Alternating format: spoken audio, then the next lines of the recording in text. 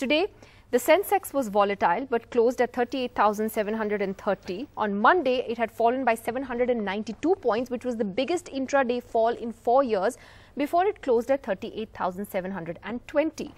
Experts say that a higher tax on rich Indians in the budget has spooked non-resident Indians and overseas funds and non-resident funds. So, so much so that some $30 billion in market value has been erased from the Sensex over the past three sessions. And the reason it's so bad is because the tax, it seems, doesn't just apply to super rich individuals, but also to trusts, which is how a large number of foreign funds that invest in India actually invest in India. Now, the government had first said that they would issue a clarification on whether this tax applies to global investors as well. But then Finance Minister Sitharaman has reportedly said there is no need for a clarification at the moment.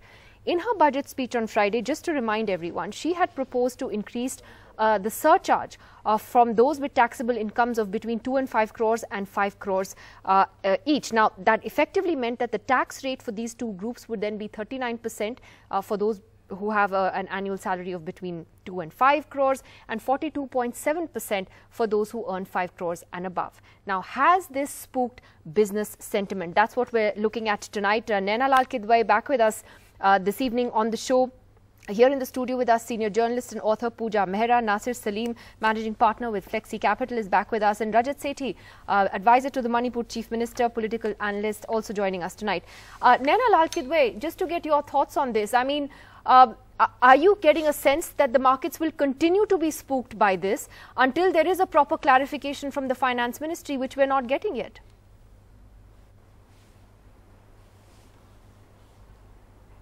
So the markets uh, were a, a, little more calm today, possibly because uh, there was a little support provided. But the issue of taxation uh, is very real. There are a couple of other areas. Uh, we do have this fear that the SEBI norms being changed from 25 percent equity being required to be listed being increased to 35% will flood the market. So that creates uh, uh, an issue as well. Okay? And uh, but the markets are as of now spooked. Uh, we seeing uh, a reaction in India which is uh, sharper than what is happening globally.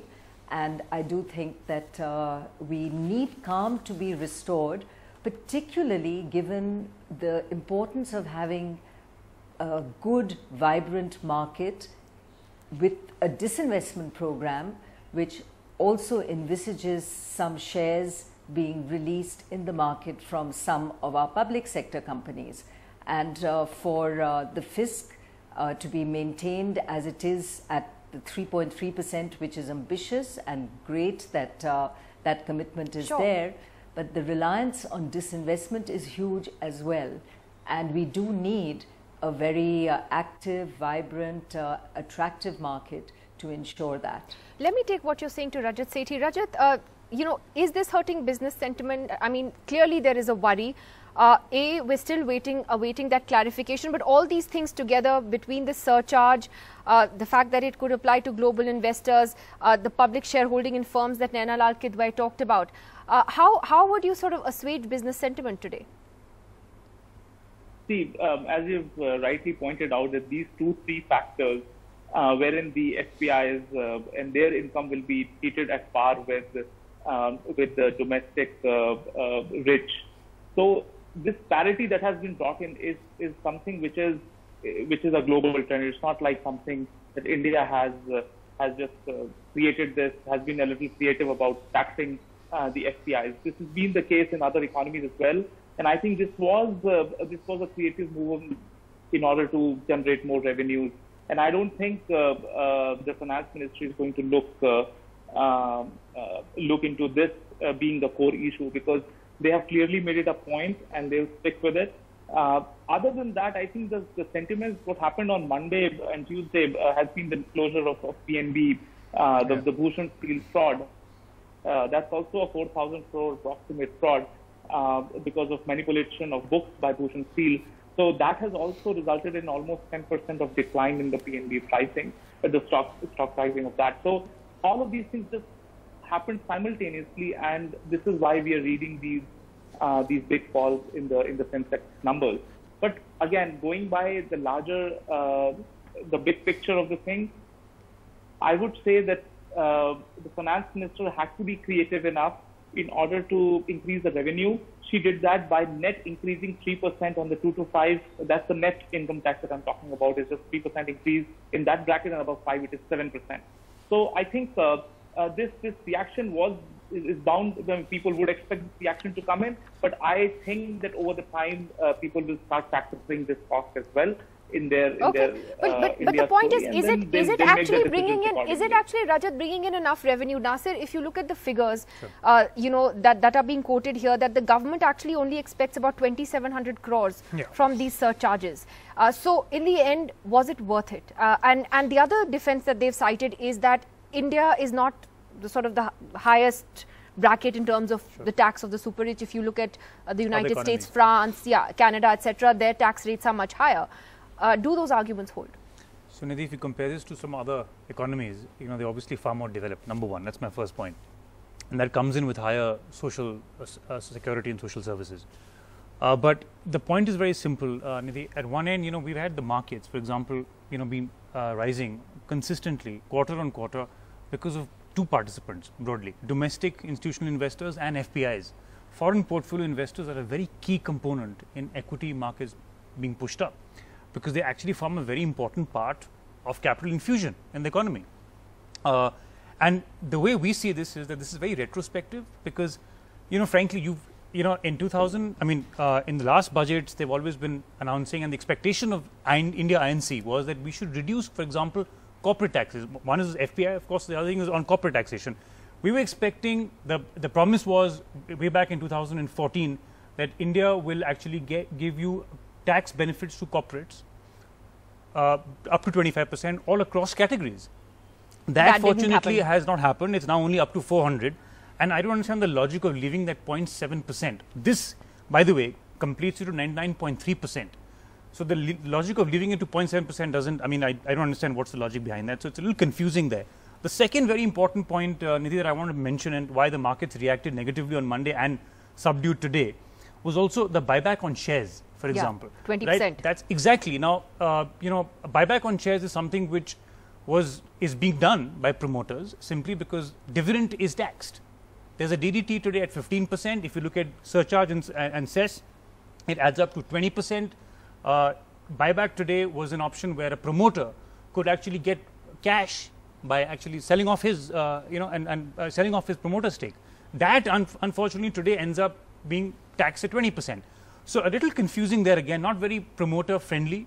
Uh, also, as you said rightly, you know, the, the taxation both from public listing to now from earlier 25 now to 35 percent will also accrue a long-term capital gain for promoters.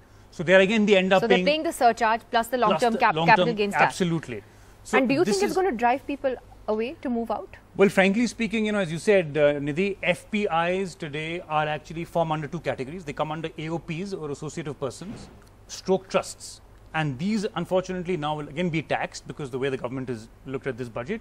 And that is a dampener, in our opinion, because you know this is these are they, they've been driving a lot of equity returns i must tell you. And you and, and look what you're saying which is important is don't compare us to western economies absolutely. that are more developed absolutely. and, because and you know you, yeah. you, you come back with great social uh, savings platforms absolutely. and so uh, Pooja uh, i mean you've written an entire book looking uh, you know at the way the upa handled the economy and the nda is the bjp right wing government actually turning out to be more left than the left? More socialist than the socialists? Yes, is that I, the surprise that is, I think, uh, what the market experts uh, have not said, but from what they're saying comes out clearly is that it, uh, the when this government was voted to power, there was a certain expectation of the direction in which they will take the market. If you recall, uh, there was a lot of backlash against the UPA government because it was believed that they were taxing people, they were taxing the productive parts of the economy and not using it for productive or even good soci social reasons,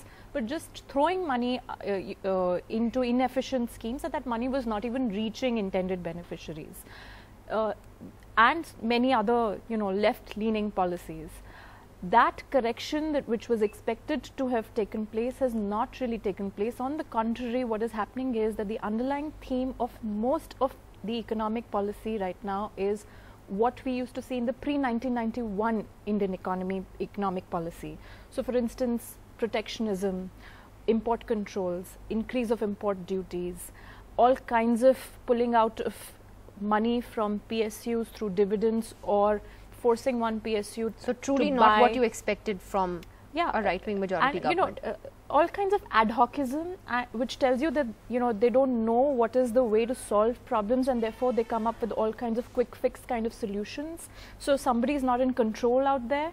That doesn't leave you feeling very confident about the way economic policy is being managed. This is exactly how they felt, how everybody felt in 2012 in the tenure of the previous government and it was assumed that you know because the prime minister was not uh, directing the finance ministry and therefore all these things were happening and now we have a strong prime minister and therefore that these things change. will not yeah but you know uh, is, the message Naina Lal Kidwai then with with all this taxation uh, you know across the board a sense that uh, it, it's it's not good to be wealthy in India anymore. I mean, you're going to be punished if you if you're making money. And and do you think that actually, as experts have said, that you will have people who will say, well, if I'm going to pay this much tax, and frankly, uh, you know, in language I can't use on TV, you know, get virtually nothing in return in terms of services, etc., I may as well move to Canada or Singapore. A lot of them have talked about that. And do you think that there is a danger of that happening?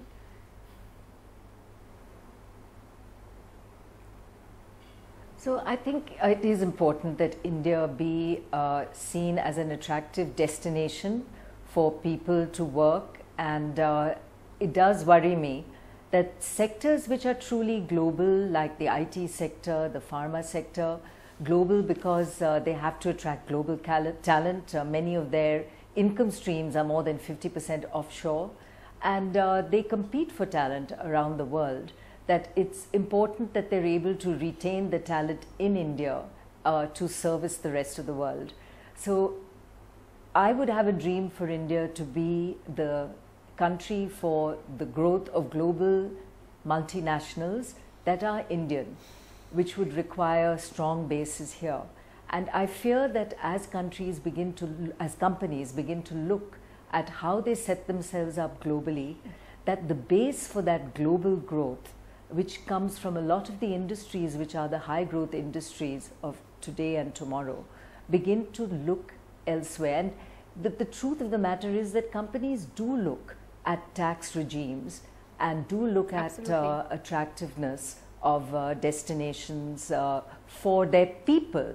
And unfortunately, between the issues around uh, health in India, uh, by which I mean pollution in our cities, uh, very expensive and difficult and to find education. Yes. Absolutely. And then now tax. Uh, it's very, we cannot compare ourselves with the Canadas and the US. And in fact, we compete more for talent from Singapore, Dubai, Hong Kong, and uh, locations such I, as that. I want to and, ask. Uh, we are sure, not that's that's an extremely as, important uh, point. Uh, Rajat Sethi, you want to sort of answer that? Uh, you know, retaining talent here at home is this actually going to drive people away? See, you I heard, mean, I'll just, yeah. I'll just, I'll just point out, I'll just point out the the FPI issue that was raised earlier. See, you need to understand that for the past three, four years, the Indian equities have yielded phenomenal uh, returns for uh, for all of these uh, uh the investors, the FII investors. And I mean, uh, of course, there will be taxation on this, and it's not something which Oh dear, apologies. I think we've just lost that link with, with Rajat there. Yeah, Nasser, quickly, last word from you and Pooja. Yeah, yeah, I just want to come in that point that he was trying to say. I think, uh, Nidhi, you know, clearly, if you look at asset classes today, and if you brought it, I mean, if you see real estate, if you look at commodities, gold, if you look at all asset classes today that are available in India, the only asset class, and I can say this, I mean, proudly, is that equities is delivered in India. And it's given you a very good, superior risk adjusted return.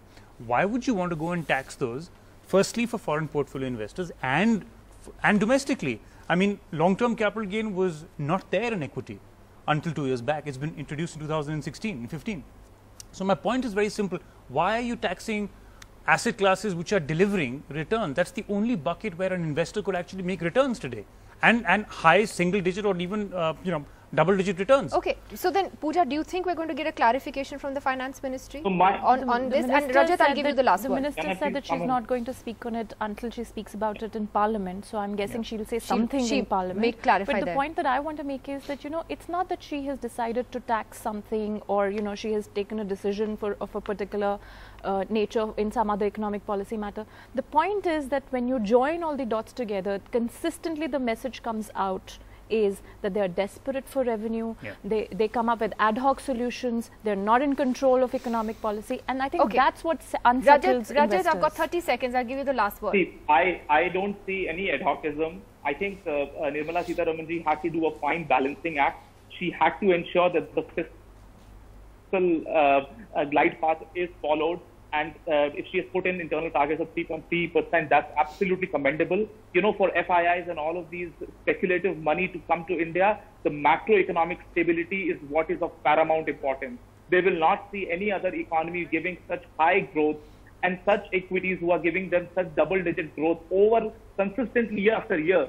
So, I mean, see, if, if, if the FII see that there is any other economy around the world where they can go, go and get such amount of returns, they're free to go. See, they will also do their calculations and understand.